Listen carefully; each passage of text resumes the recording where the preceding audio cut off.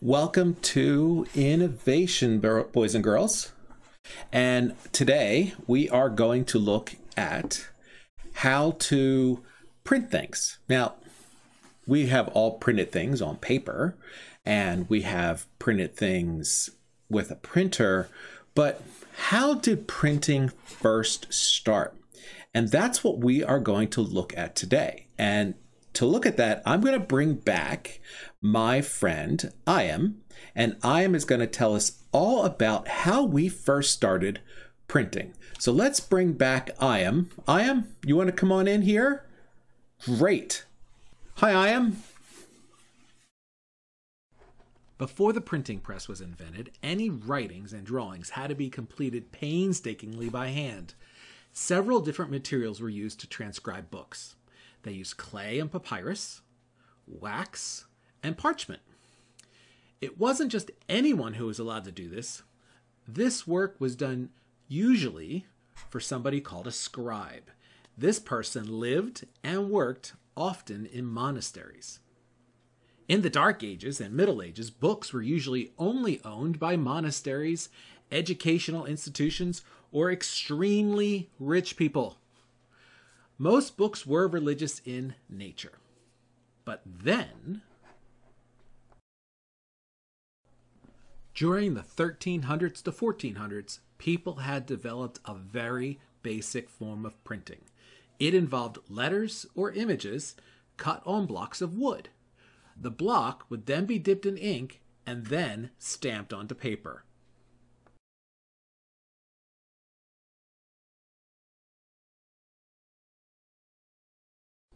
Look at them make that fish. That's really cool.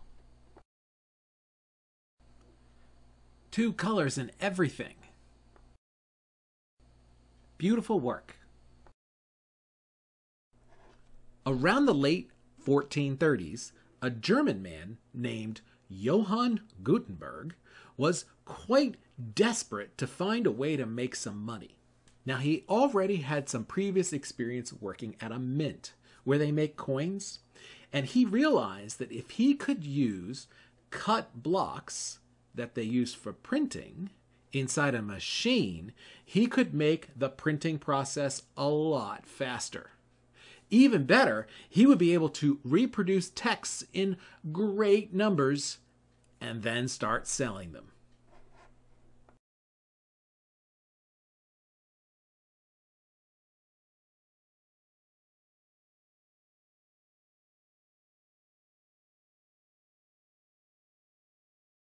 Thanks, Iam.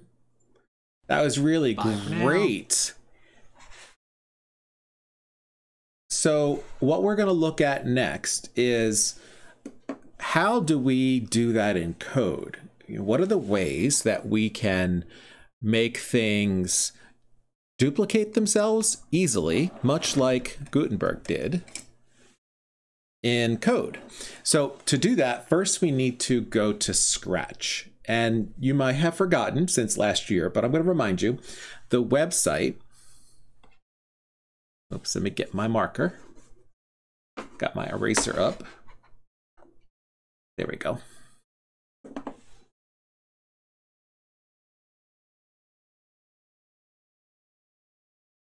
Scratch dot M I T dot E D U. Let me fix my T there. So we're going to go to scratch.mit.edu. Let me do that now.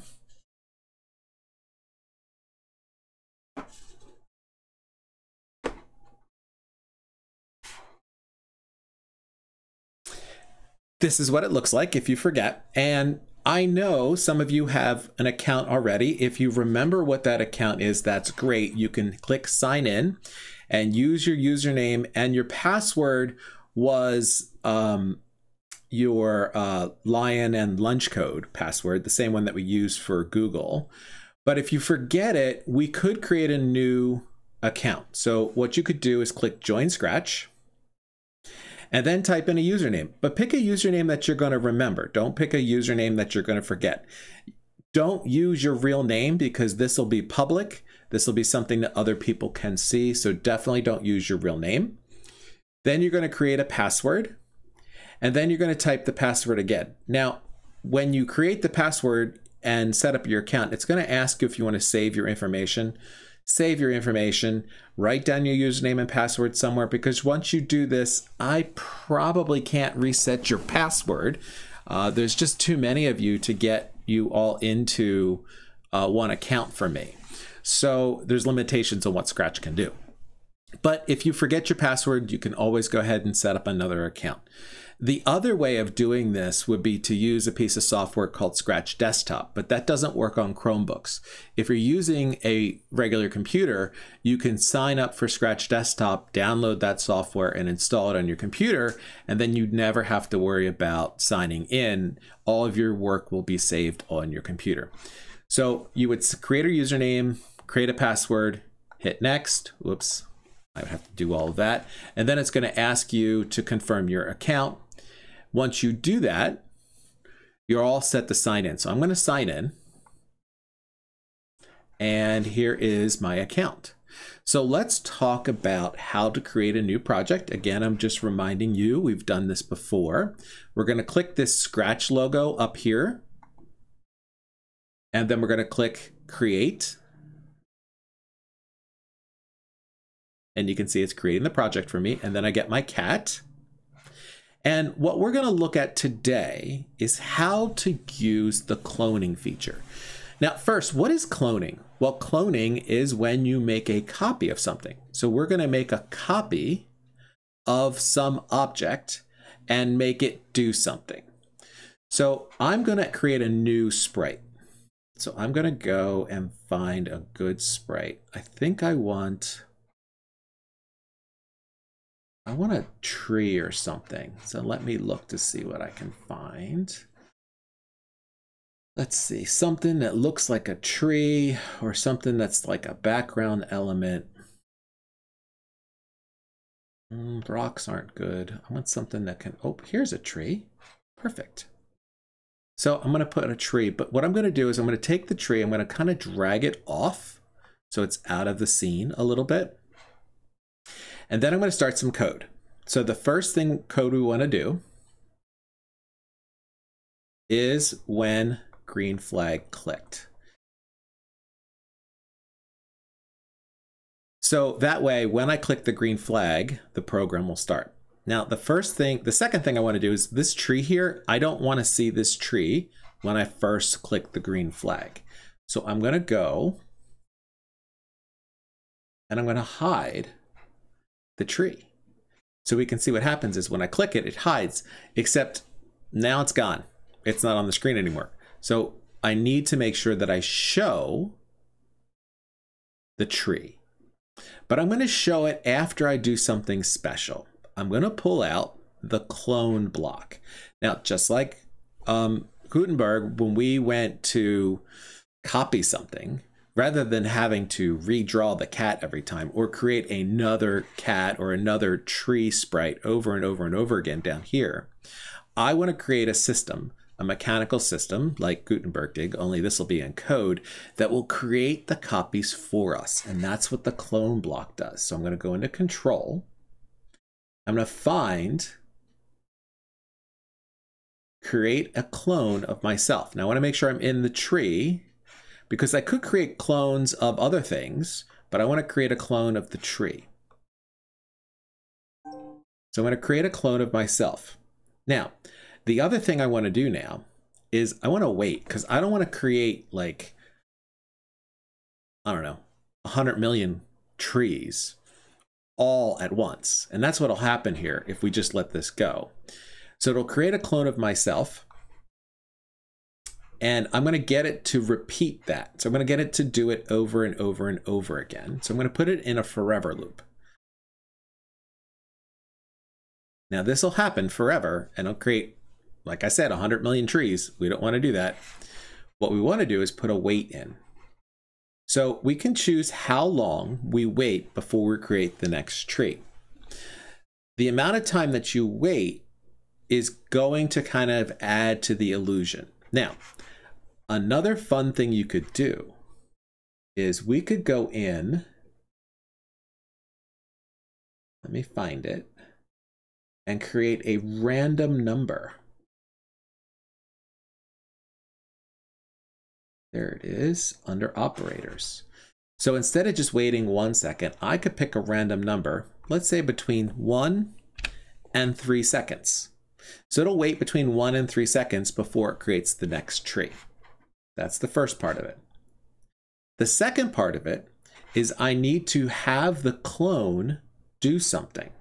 So we're going to use this block here when I start as a clone. And what do I want it to do? Well, the first thing I want it to do is I want it to show itself. So I'm going to click on show. I need it to show itself. Once the clone shows itself, then I need it to move. So I want to make sure that it starts somewhere about the right location, which was over here. Now it's there right now. It's at 249 y of 0.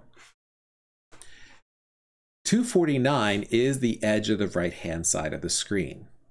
The middle is at 0, and the left side of the screen is at negative 249. So the full distance we have is about 500 blocks from left to right. Or, yeah, about 500 blocks. So let me go in here and use my motion. I'm going to first make sure it's at that spot at 249.0. Now, if I want to change that number, I can and have it go to a different spot. But let's just see what happens when I do this. Now, it's creating an infinite number of these. They're all on top of each other. You can see there's a whole bunch of them. I don't want that many trees. So we're going to have to fix that. The second thing we're going to do is move the tree across the screen. So I'm going to glide it across the screen. But remember what I said about the other side of the screen being at negative 249? So when I hit the green flag, there it is. Wow, that took one second to go across. I think that's a little fast. We might want to slow it down between one and three seconds. Oh, that's better. And again, we might want to do a random choice. So they kind of move at different speeds.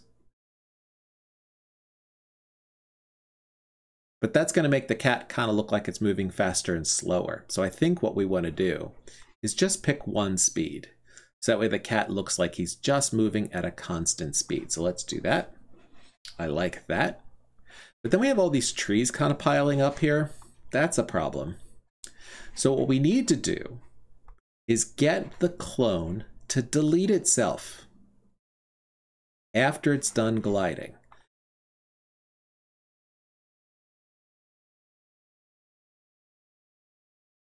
And look, it looks like our cat is walking. Now, here's the thing.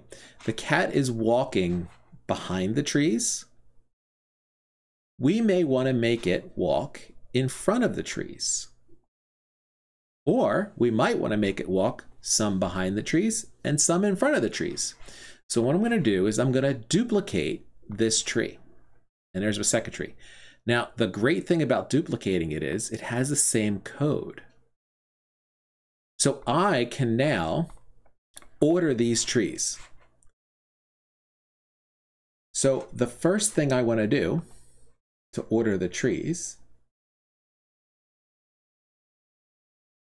is I want to go and look for this block down here. I don't know if you can see it.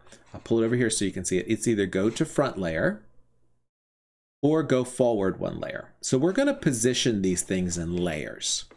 So we want the cat on the front layer. Well, actually on the, the second layer.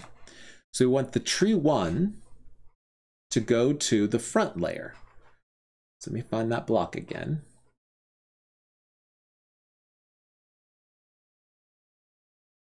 So we're going to go to the front layer. So we know these trees are in front of the cat. Now these trees we want to go to the back layer.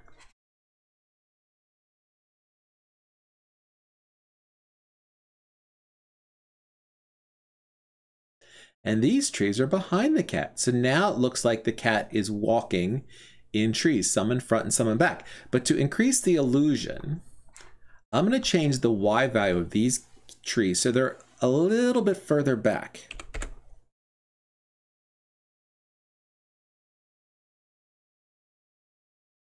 So we have to start them at a different spot. So let me hit stop. And we're going to have to make sure our trees start at the 249 and the 50. And then we have to make sure they glide and the Y value is the same at 50. Otherwise, our trees look like they kind of move up and down, and that's not quite right. We don't want our trees moving up and down. So let's take a look.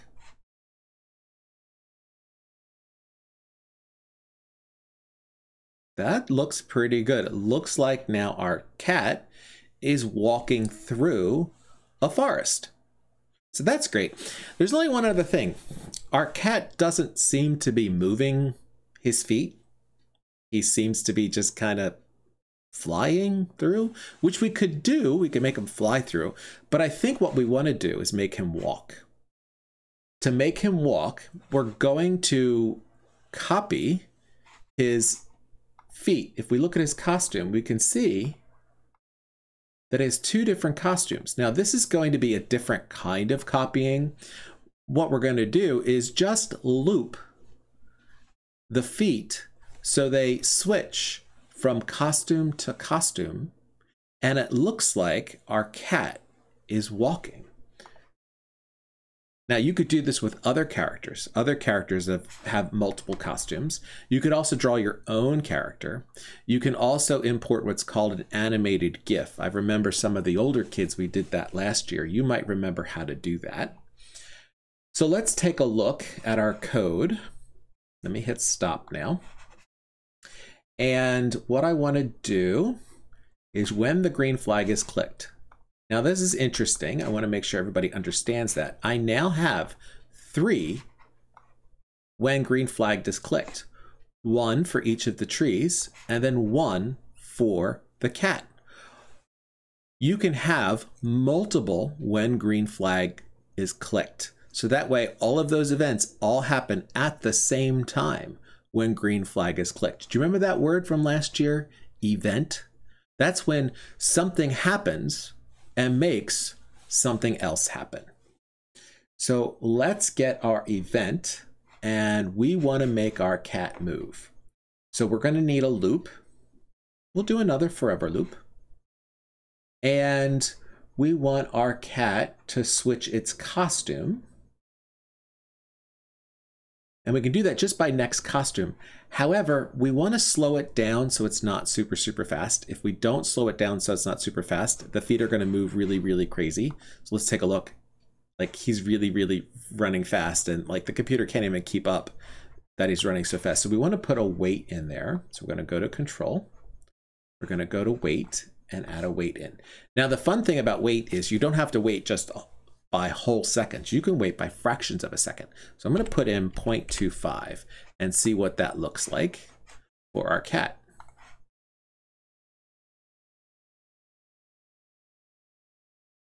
That looks pretty good. It looks like he's running through the forest. Now to complete the illusion, I want one more thing. I need a plain backdrop. So the plain backdrop, I'm going to probably just draw so I'm going to click on the paint icon. Know if you can see it right there, the paint icon. And what I want to do is I want to draw in first a blue rectangle. So let me change the fill to a nice sky blue. That's nice. And draw in a nice sky blue. Oh, wait, it's got an outline. I don't want an outline. No outlines. Skies don't have outlines. So we're going to do no outline. That's the red slash, means no outline. I'm going to draw a blue sky. Well, that looks pretty good. And then I'm going to add another part to my backdrop, another rectangle, and I'm going to add in maybe a little bit of grass but I'm going to do this in two different spots. I'm going to do it here. That's good. And then I'm going to add in another for the bottom. And next, let's see, let's move this a little bit closer here and a little bit closer here. So, whoops. Want a little bit more grass, I think. Just so it looks like the trees are actually on the grass. Getting closer. Oh, I think that's pretty good. If you don't like something, you also have this undo button that you could undo it with. Now the last piece is I want to draw in a path. So I'm going to do this kind of gray, whoops, a gray fill for like a path.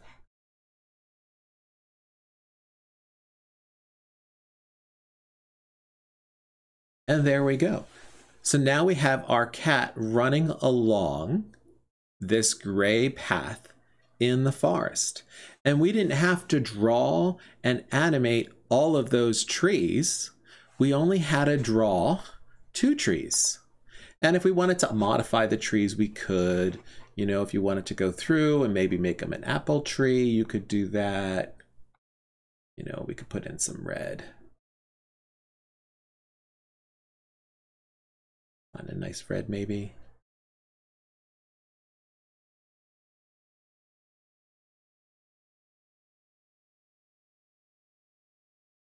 There's a good red. And then we could draw in a little circle or an apple if we wanted to, you know? So that way this side of the tree maybe has apples on it, right? And then the other trees don't have apples. So that way we can see the difference between the two trees. It might make it a little bit easier. Or, you know, you could add more apples to this one, and but they're in different spots. So we can really see, you know, the difference between the front and the back. So now I have him running through an apple orchard. Okay, so let me stop this. So when you're all done and you're ready to share your project, you have to click this share button up here. Let me make this a little bit bigger so we can see it. If we don't share our project, then nobody can see it. So if you want to share this with people, what you have to do, so you click the share button. You also want to title it and give it a good name. Once you've titled it and shared it, you can then pass along this link to anybody you want. Uh, you could send it to mom or grandmom. You could send it to grandpop. You could send it to dad. You could send it to uncles, aunts, whatever caretaker you have, and everyone can see your project. You could also send it to other students, and you can send it to me. And that's one of the things that I'm going to ask you to do is just submit a link, if you can, in Canvas to your project. So to do that, we are going to go into our Canvas course and go to Innovation. And then, let me zoom in here so you can see a little bit better. We are going to look for the assignment, which is the cloning assignment. Switched it to student view so you guys can see the assignment. So when I click on the student assignment, I am then going to hit submit assignment. You can see that it is a website or URL. Click submit assignment. And then we're just going to paste in the link. So I'm going to go back to my project. I'm going to copy the link. So I'm going to highlight it. And I can either press Control C or I can right click and click on copy. Then I'm going to go into the project and I'm going to press right click, paste, or I can press Control V. And then I can say, this is my project. And then I hit submit assignment. Hey, it's submitted. Fantastic.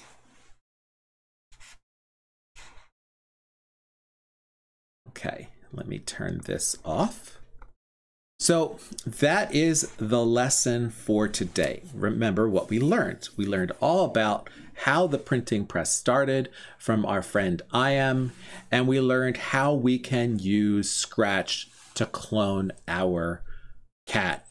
Well, actually, not our cat, our trees, in order to make a screen scrolling animation. I bet some of you can come up with some great ways to use that animation. We might do that later on and maybe create something really cool. That's it for today's episode. I'll see you next time.